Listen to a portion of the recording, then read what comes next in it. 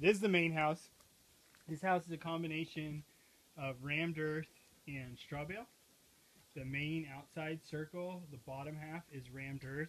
We did it Khalili style. He's an Iranian architect, and he basically we took bagged forms and created basically a giant coil house out of the rammed earth from the, the soils were here. Up above on the second story, it's straw bale, and this first wing that comes out straw bale. All the the doors and windows are recycled. All the wood for the ceilings, almost everything in the whole thing is recycled. Even some of the plywood and stuff. There's old clothes up in the rafters for insulation.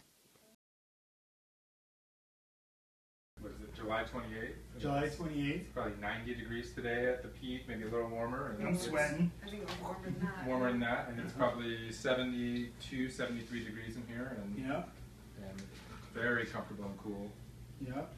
So the the uh, there's a you know passive solar architecture has two components. It has the sun that has the ability to heat up your house in the winter, and uh, or in the, yeah in the winter. In the summer when it goes higher in the atmosphere, your roof overhang shades it from coming into your house.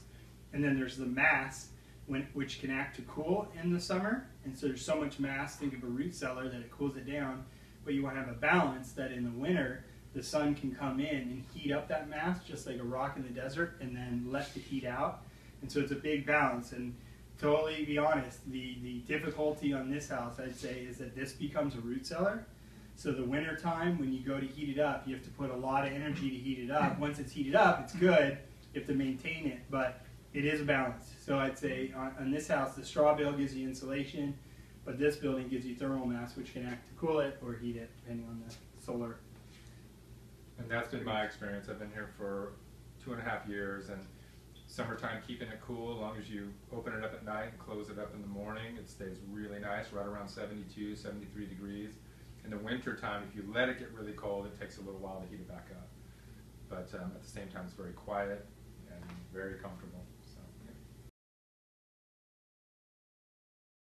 Golden. We had an earthquake come through here in Paso that downed some serious buildings in Paso. Um, the earthquake actually started in like West Templeton, which is very close here. It's like eight miles as a crow's fly. That day, that earthquake happened. I was in the lower house and I saw the trees just shaking back and forth.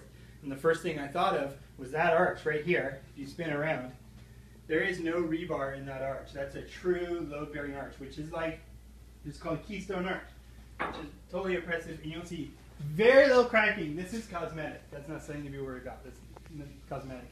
But basically, the layers of rammed earth come into here like this, and then you take a bag of rammed earth and you do a keystone, and it it's tighter on the bottom than the top, and then they all fit in, and they press against each other to make themselves stronger.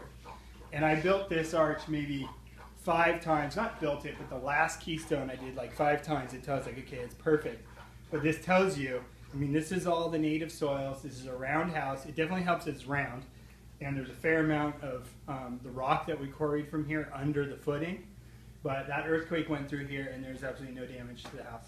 So load-bearing straw bale and load-bearing this. And if it falls in tomorrow, he's got full disclosure.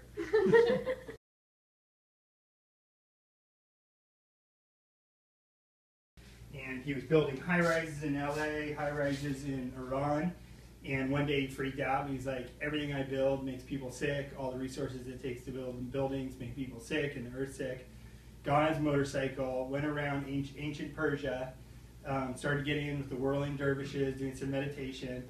He went into where they used to do the clay, and they go where they fired him, and he realized that the building, the tunnels that the clay bricks were put in, was actually firing the entire cave.